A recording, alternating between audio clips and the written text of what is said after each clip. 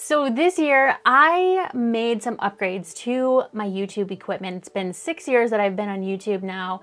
I had been using the same camera, same lens, same microphone, everything for a very long time. And I finally decided it was time to make some, make some upgrades. So in this video, I wanna share with you the five gear upgrades that I made this year that really improved the quality of my videos and it improved my workflow and it made me happy. Let's be honest, new YouTube gear makes us all happy, right? So let's get started with the most expensive upgrade that I made this year, and that is my brand new camera. What I am recording on right now, the camera that I am looking at right now, is the Canon M6 Mark II. This is a Canon mirrorless camera. I'm gonna have to break out this old guy in order to show you the new guy. This is the Canon 70D. This is a DSLR camera.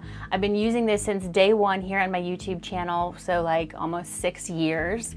And I just have been using just a regular kit lens. It's the lens that comes with the camera. Nothing fancy, nothing special. It actually works great and there's very few reasons why I needed to upgrade to something new. It's just that those few reasons were kind of important, and I'll talk about those in just a minute. As I'm recording this, it is definitely the time of year where you want to start thinking about any purchases that you want to make, especially when it comes to tech, because it's it's the holidays, it's Black Friday, Cyber Monday, all this stuff. If you're new here, my name is Meredith Marsh, and this channel is dedicated to helping your side hustle thrive with YouTube as a video content creator so that you can become the boss of your own future and create options and opportunities for yourself outside of a traditional job. So if that sounds like your jam, make sure you hit that subscribe button. I also want to let you know that everything that I mention here in this video, I'm going to link to down in the description below this video. So rewind about two months ago when Canon announced the new Canon M50 Mark II. It's like the 2.0 version of their M50 model that they released two years ago. And I've been waiting for this new model to come out because I thought I really wanted to try a mirrorless, especially something small, something that I can get to know, give you a review. So I have something um, you know, besides my ancient clunky DSLR to recommend to people. So on the day that it came out, I put in a pre-order for the M50 Mark II, and then on a total whim, because it was also Amazon Prime Day, I decided to buy the M6 Mark II, which is also a Canon camera. It's a mirrorless. Yes, I bought two cameras in one day, but one of them got shipped to me right away, and I'm still waiting for the pre-ordered M50 Mark II. So I've been using the M6 Mark II for the past about 30-ish days and I love it. I think it's great. There's some quirky things about it that I will tell you about, but for the most part, I don't really have too many complaints about it. I mean, it's a camera, it's a Canon. It's great for YouTube videos. It's great for taking still photos as well. It has a flip up screen.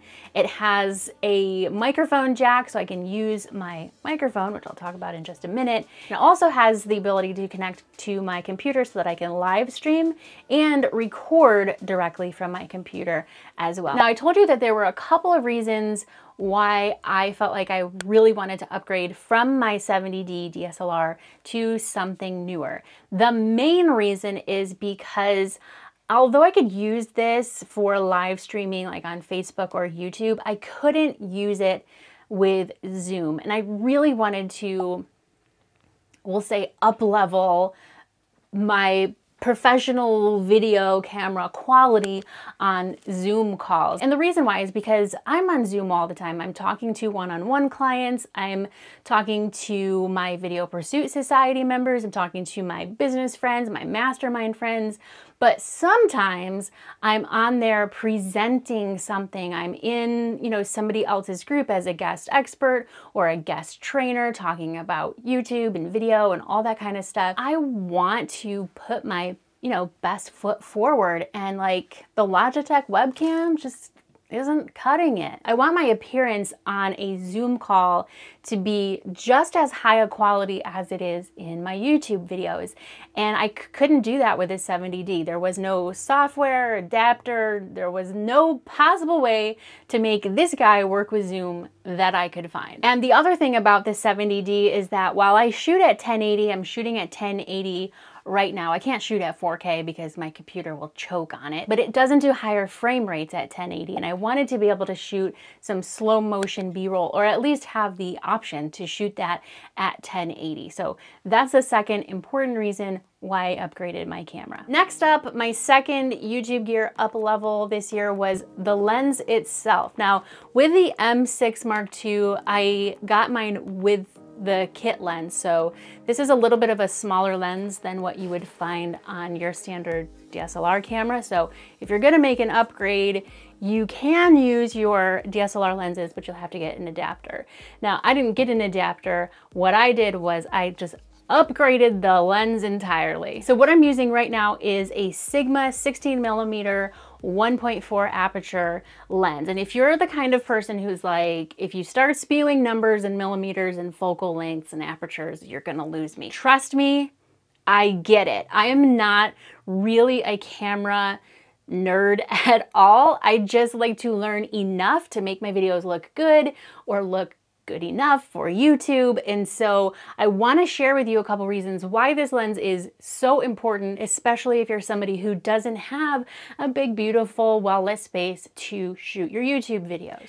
Okay, so as you can see right now, I'm sitting at my desk. My computer is right in front of me. So this is where I'm sitting when I'm on a Zoom call or when I'm live streaming or anything like that. So this camera has essentially, I mean, not even essentially, it has literally replaced my actual webcam. And for anyone who hasn't watched any of my previous videos where I talk about my YouTube studio at home setup and giving you a little bit of a tour, this is just a spare bedroom in the basement of my house and it is tiny. And so with a small space where you're trying to, you know, have it be like studio-like to shoot YouTube videos, but you also need it to be functional and office spacey, and you also want to be able to sit at your computer and show up to a Zoom call and not have a bunch of junk behind you. It's like real life Tetris in here, okay? And if you're wondering, what does having a small office have to do with your camera lens? When you have a nice lens with a wide-ish 16 millimeters is, from what I understand, um, it's as as close as you can get without it being like fisheye. And having a nice wide aperture, the more you can get this depth of field effect. That's where it's like blurry in the background. It makes it look like I'm actually further away from this back wall than I am. Makes my space look a little more spacious even when it's not. Now, at some point in the future, I will do a video explaining my exact video settings here on the M6 Mark II, the ISO, the f-stop, the frame rate, all that kind of stuff. So make sure you hit subscribe if you're gonna be interested in all the number stuff. Now the downside, if you can call it that, to this lens is it's 16 millimeters, it's a fixed focal length. I can't change the focal length. It's like if I want to be closer or further away, I have to move closer or further away. But for what I need it for, which is my YouTube videos and as a webcam, that's perfect for me. And if I was going to walk around and vlog with it, which I never do, then it would work for that as well. This is what the kit lens looks like on the same settings. Of course, the aperture is different. The aperture is a higher number. It's letting in less light. So in order to adapt, I would need to increase my ISO, which is totally possible. I'm doing this from my computer.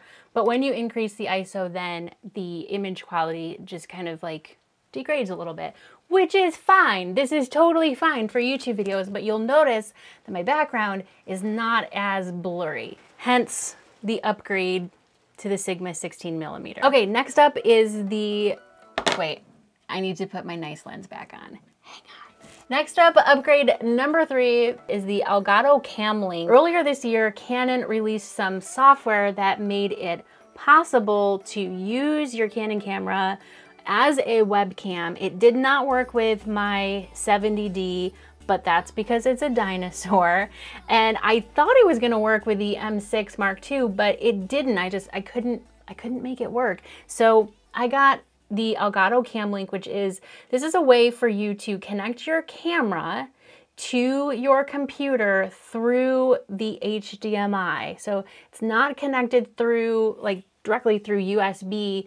It, it, it is connected through USB, but through an HDMI port. That made so much sense. But this is the thing that allows me to use my Canon um, with my Zoom calls. It may also be the thing that allows you to use your Canon for other live streaming Mine already worked for regular live streaming. It's just for the Zoom, I needed the thing.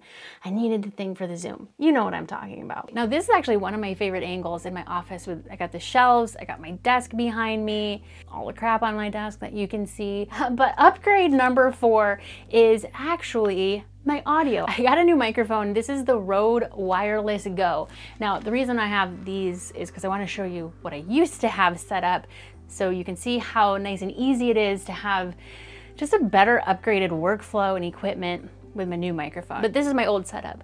I had my Canon 70D. This is a shotgun mic from Rode. It sits on top and if the microphone is facing you, the person who's talking, then your audio is fine as long as you are literally like a foot away.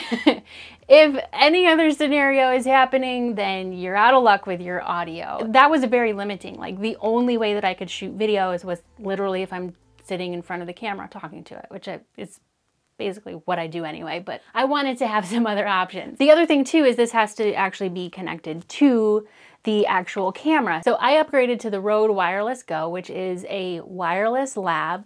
So this is the lav mic. It sits on my uh, my lapel. It goes down through my shirt. It's connected to this little guy, which is a transmitter. So this stays with me. I can put it in my pocket. I can put it, I can clip it to my pants. It has an actual clip.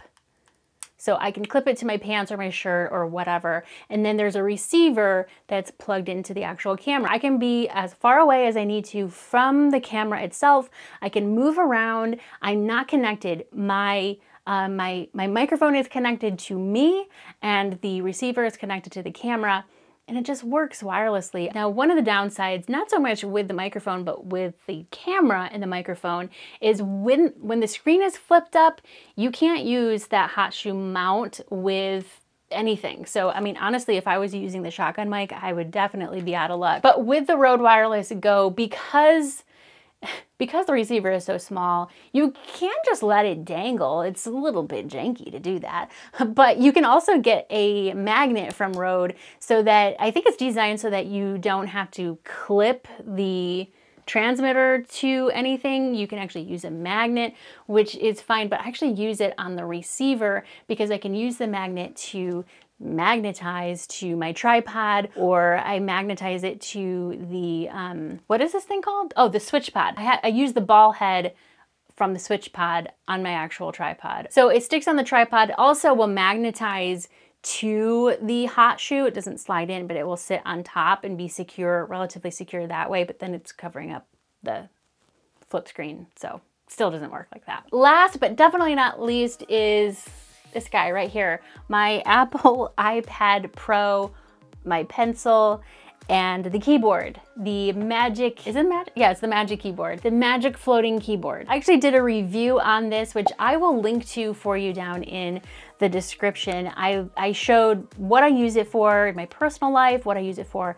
in my business life. And seriously, if you have been thinking, I wonder what it's like to just be able to write with a pencil on an iPad, it's amazing. It's seriously, it's it's amazing. I love it. Now I know that Apple recently released the iPad Air, which has similar features and stuff to the Pro, and you can use the Apple Pencil and all that good stuff too. So you may want to check that out. I'll put that in, uh, in the links below as well. And although it is the most wonderful time of year for upgrading your YouTube gear and getting all those Black Friday, Cyber Monday, Monday deals and all that stuff, I also want to let you know that this is actually the perfect time of year to start thinking about what you want to accomplish next year. So if you've been thinking about starting a YouTube side hustle or an online business as a side hustle using YouTube, then please stick around, hit that subscribe button, and get started with this series of videos right here.